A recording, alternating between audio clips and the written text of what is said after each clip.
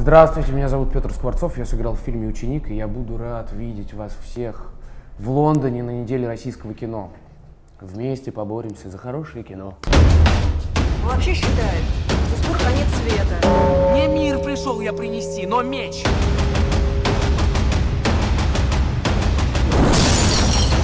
Я все что угодно готов сделать ради Господа.